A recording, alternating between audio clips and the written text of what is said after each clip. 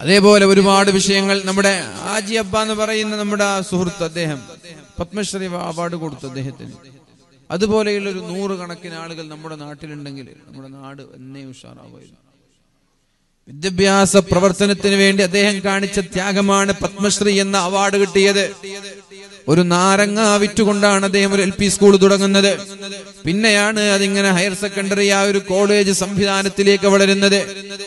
എന്തു അദ്ദേഹത്തിന്റെ ജീവിതത്തിലുള്ള വിഷനാണത് കാഴ്ചപ്പാടാണത്.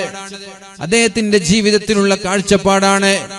ഒന്നുമില്ലാത്ത ഒരു ഫക്കീറായ ഒരു ദരിദ്രനായ ഒരു മനുഷ്യനെ അദ്ദേഹത്തിനുള്ള കാഴ്ചപ്പാടാണ്. നമ്മുടെ സമുദായത്തിന് നമ്മുടെ നാടിൽ ജനങ്ങൾക്ക് പഠിക്കാനുള്ള ഒരു സ്ഥാപനം ഉണ്ടാക്കണമെന്നുള്ളത് ഇദ്ദേഹം ഒറ്റയ്ക്ക് ഇത് ചെയ്തുവെങ്കിൽ എന്റെ പ്രിയപ്പെട്ട മുഅ്മിനീങ്ങളെ സാമ്പത്തികമായ അഭിവൃദ്ധിയുള്ള ആളുകൾക്ക് ഇത് എത്ര ചെയ്യാൻ പറ്റും? സാമ്പത്തികമായ അഭിവൃദ്ധിയുള്ള ആളുകൾ വെറുതെ കുറെ ബിൽഡിങ്ങുകളും കുറെ ഫ്ളാറ്റുകളും ഉണ്ടാക്കി സമ്പത്ത് ഇങ്ങനെ ഒരുമിച്ച് കൂട്ടുന്നതിന് പകരം ജനങ്ങൾക്ക് ഉപകാരമായ പഠിക്കാൻ പറ്റുന്ന സ്ഥാപനങ്ങൾ തുടങ്ങിക്കൂടെ? നല്ല ഫീസ് വാങ്ങിക്കോ എന്താ കുഴപ്പം? നല്ല ഫീസ് വാങ്ങിയിട്ട് നല്ല ക്വാളിറ്റിയുള്ള സ്ഥാപനങ്ങൾ വെറുതെ കോളേജിൽ പോയി തിരിച്ചു വരാനല്ല വെറുതെ സ്കൂളിൽ പോയി തിരിച്ചു വരാനല്ല.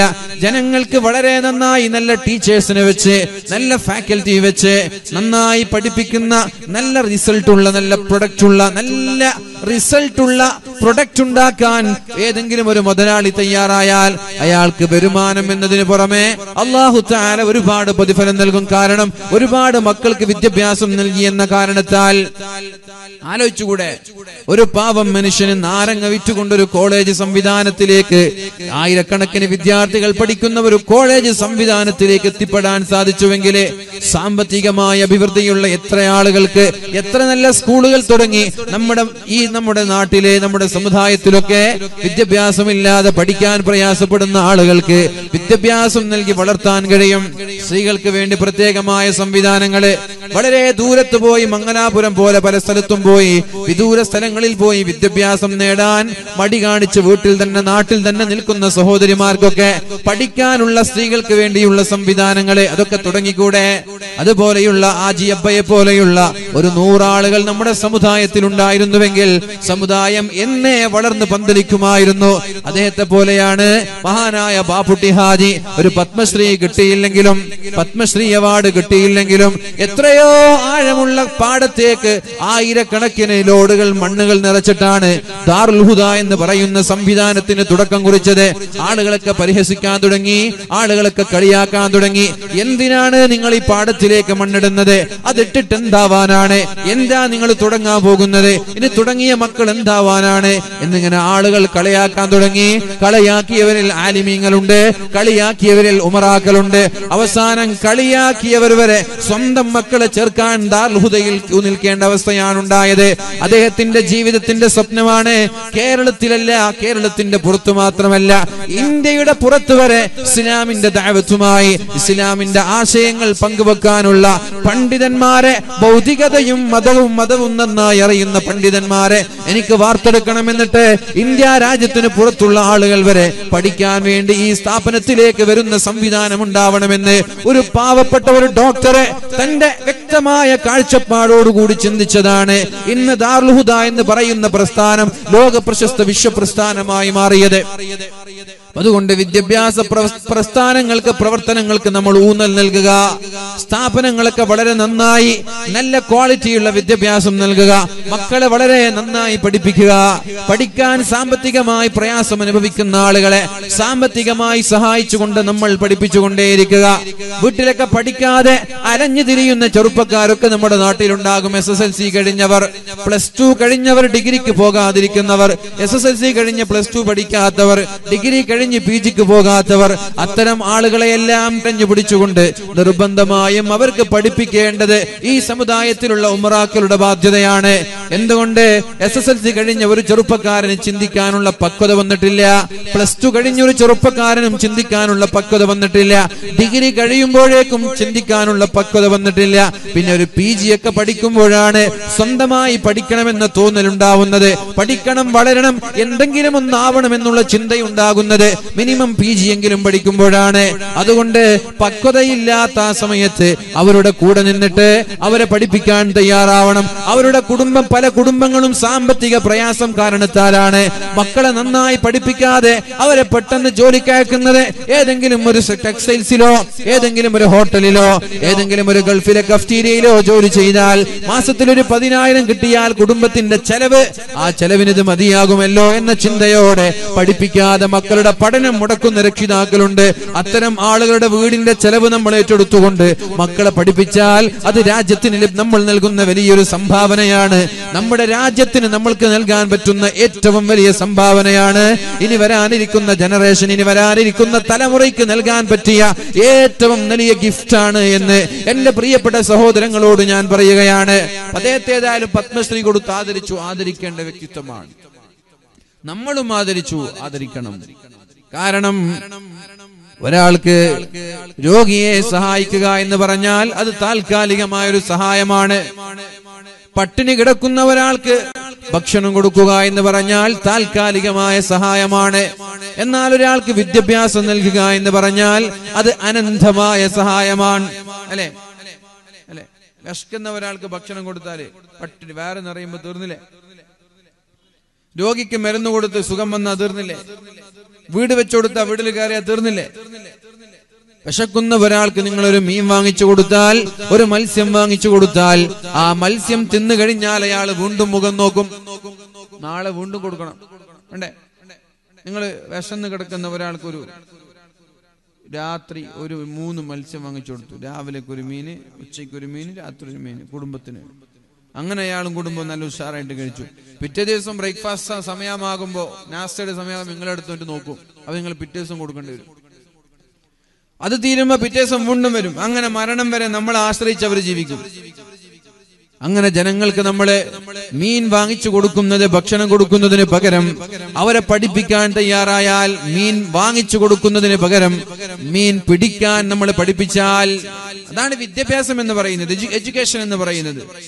അതാണ് നമ്മൾ ചെയ്യേണ്ട ചാരിറ്റി പ്രവർത്തനങ്ങൾ. അവർക്ക് മീൻ പിടിക്കാൻ പഠിപ്പിച്ചു കൊടുക്കുക. ഒരു ചൂണ്ട വാങ്ങിച്ചു കൊടുക്കണം ഒരു വല വാങ്ങിച്ചു കൊടുക്കണം. എന്നിട്ട് എങ്ങനെയാണ് മീൻ പിടിക്കേണ്ടതെന്ന് പറഞ്ഞു കൊടുക്കണം. അങ്ങനെ മീൻ പിടിക്കാൻ അവരെ പഠിപ്പിച്ചാൽ പിറ്റേ ദിവസം ചൂണ്ടയുമായി വലയുമായി അവർ എവിടെ പോകും? പുഴക്കരയിലേക്ക് നദിക്കരയിലേക്ക് അവർ പോയിട്ട് ചൂണ്ടയിടാൻ തുടങ്ങും. അങ്ങനെ ചൂണ്ടയിട്ടാൽ അയാൾക്ക് ഒരു മീനല്ല പത്ത് നൂറ് കണക്കിന് മീൻ കിട്ടും. അയാളുടെ ആവശ്യത്തിനുള്ള മീനെല്ലാം വെച്ച് ബാക്കിയുള്ളത് വിറ്റിട്ട് ക്യാഷ് എടുത്തു വെക്കാൻ അയാൾക്ക് കഴിയും. അല്ലേ?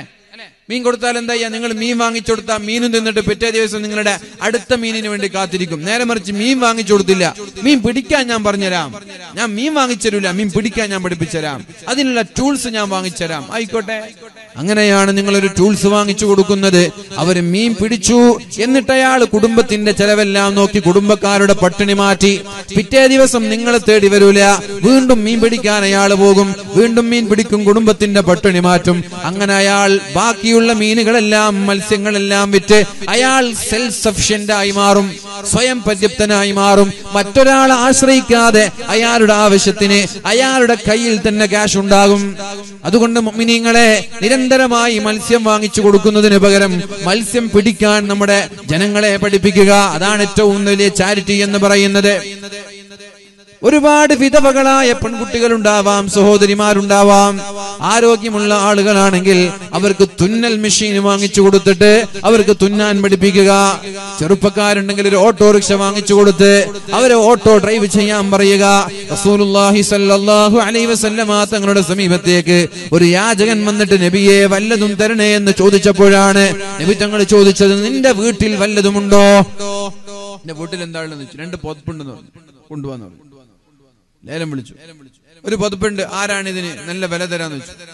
ഒരാൾ പറഞ്ഞു ഞാൻ ഒരു ദൃഹം തരാം. നബി തങ്ങൾ പറഞ്ഞു ഒന്ന് പോരാ കൂടുതൽ ആര് തരുമെന്ന് വെച്ചു? അപ്പൊ ഒരാൾ പറഞ്ഞു രണ്ട് ദൃഹം തരാം. അലൈഹി വസല്ലമ തങ്ങൾ രണ്ട് ദൃഹമിന് ആ പുതപ്പ് വിറ്റു. എന്നിട്ട് ഒരു ദൃഹം ഇയാളുടെ കയ്യിൽ കൊടുത്തിട്ട് പറഞ്ഞു ഇന്നത്തെ ഭക്ഷണം ഈ ഒരു ദൃഹം കൊണ്ട് നീ വാങ്ങിച്ച് നിന്റെ വീട്ടുകാർക്കെല്ലാം ഭക്ഷണം കൊടുക്ക്. ബാക്കി ഒരു ദൃഹം എന്തിനാണ്? മഴു വാങ്ങാനാണ് മഴു. വഴുവാങ്ങണം നീ. എന്നിട്ട് നീ കാട്ടിൽ പോകണം. എന്നിട്ട് അവിടെ നിന്ന് വിറക് വെട്ടി ആ വിറകെല്ലാം നല്ല കെട്ടാക്കി കൊണ്ടുവന്ന് വിറക് ചുമന്ന് ചന്തയിൽ പോയി വിറക് വിറ്റാൽ നിനക്ക് കാശ് ഉണ്ടാകും ആ കാശ് കൊണ്ട് നിന്റെ കുടുംബത്തിന്റെ ചെലവ് നോക്കണമെന്നാണ് റസൂലുള്ളാഹി സല്ലല്ലാഹു അലൈഹി വസല്ലമ തങ്ങൾ പറഞ്ഞത്. അതല്ലാതെ നമ്മളെ പോലെ മരണം വരെ തീറ്റിപ്പോറ്റാനല്ല നബിച്ചങ്ങൾ തയ്യാറായത്. ഇന്ന നിനക്ക് എപ്പോ നോക്കി എല്ലാ മാസവും കിറ്റ് എല്ലാ മാസവും പെൻഷൻ തരാന്നല്ല നബി തങ്ങൾ പറഞ്ഞത്? ആരോഗ്യമുള്ള ആളാണോ? ഓ ഈ പണി എടുക്കടാ എന്നാണ് നബി തങ്ങൾ പറഞ്ഞത്. നീ നിന്റെ കുടുംബത്തിന്റെ ഉത്തരവാദിത്തം ഏറ്റെടുക്കണമെന്നാണ് സല്ലല്ലാഹു അലൈഹി വസല്ലം നബി തങ്ങൾ ഒരു എഡ്യൂക്കേഷൻ ആണത് വിദ്യാഭ്യാസമാണത് വിറക് വെട്ടാനുള്ള ഒരു ഐഡിയ ആണ് ഒരു തന്ത്രമാണ്. അള്ളാഹുവിന്റെ ഹബീബായ നബി സല്ലല്ലാഹു അലൈഹി വസല്ലമ തങ്ങൾ ആ ചെറുപ്പക്കാരൻ ആ സഹോദരന് പഠിപ്പിച്ചു കൊടുത്തത്. പിന്നെ സ്വന്തമായി മറ്റൊരാൾ ആശ്രയിക്കാതെ ജീവിക്കാൻ ആ ചെറുപ്പക്കാരന് കഴിഞ്ഞു എന്നാണ് അതേപോലെ എന്റെ എല്ലാ ചെറുപ്പക്കാരോടും സംഘടനകളോടൊക്കെ പറയാനുള്ളത്. ഒരുപാട് വീടും സംവിധാനങ്ങളൊക്കെ നമ്മൾ ഉണ്ടാക്കുന്നതിന് പകരം എത്രയോ ആളുകളുണ്ട് ഇവിടെ പ്രയാസം അനുഭവിക്കുന്നവർ അവർക്ക് പഠിപ്പിക്കാനുള്ള സംവിധാനങ്ങൾ ഉണ്ടാക്കുക. കോളേജിൽ പോയാൽ അവരുടെ ട്യൂഷൻ നമ്മൾ ഏറ്റെടുക്കുക ട്യൂഷൻ ഫീ നമ്മൾ ഏറ്റെടുക്കുക അവരുടെ പുസ്തകങ്ങളുടെ ഫീ നമ്മൾ ഏറ്റെടുക്കുക. അവർ പഠിച്ചത് കാരണം ഏതെങ്കിലും ഒരു വീട്ടുകാർ പട്ടിണി കിടക്കുമെങ്കിൽ ആ വീട്ടുകാരുടെ ചെലവ് നമ്മൾ ഏറ്റെടുക്കുക. നിങ്ങൾ മക്കളുടെ പഠനം മുടക്കരുത്. നിങ്ങളുടെ വീടിന്റെ ചെലവ് ഞങ്ങൾ ഏറ്റെടുത്തോളാം. അവർ പഠിക്കട്ടെ. അങ്ങനെ പഠിച്ചു വന്നാൽ പിന്നെ ഈ വീട്ടുകാർക്ക് ഒരു പ്രയാസം ഉണ്ടാവൂല അതുകൊണ്ട് നന്നായി പഠിക്കുകയും നന്നായി പഠിപ്പിക്കുകയും ചെയ്യുക. പെണ്ണായാലും ആണായാലും പെട്ടെന്ന് പെട്ടെന്ന് വിവാഹം കഴിപ്പിച്ചു കൊടുക്കുന്ന സംവിധാനം ഉണ്ടാവരുത്. നമ്മുടെ പെൺമക്കളെ ഒരു പന്ത്രണ്ട് പതിനഞ്ച് പതിനാറ് വയസ്സാകുമ്പോഴേക്കും വിവാഹം കഴിച്ചു കൊടുക്കുന്ന ഒരു സംവിധാനം ഉണ്ടാവാൻ പാടില്ല.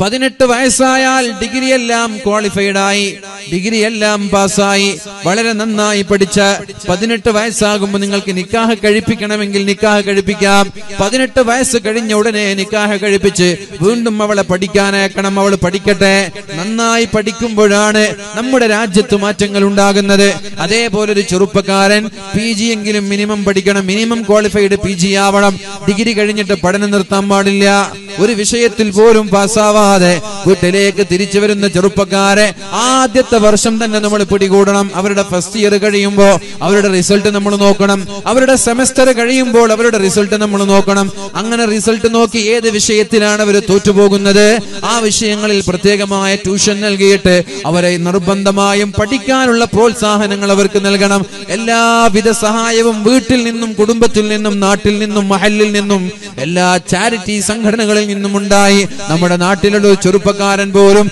പി ജി ക്വാളിഫൈഡ് ആവാത്തൊരു ചെറുപ്പക്കാർ പോലും നമ്മുടെ നാട്ടിലില്ല. ഡിഗ്രി ക്വാളിഫൈഡ് ആവാത്ത ഒരു പെൺകുട്ടി പോലും നമ്മുടെ നാട്ടിലില്ല.